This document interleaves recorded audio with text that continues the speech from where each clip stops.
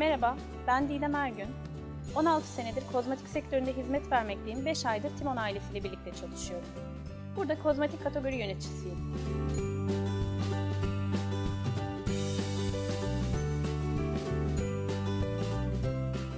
Beş kişilik ekibimizle birlikte çalışmaktayız burada. Ee, ürünlerin satın almasından, rafa geçen fiyatlarıyla, karlılıklarıyla, ee, aynı zamanda raf dizaynı, satışları, müşteri tezgahındaki raf dizaynına kadar hepsiyle birlikte ilgilenmekteyiz.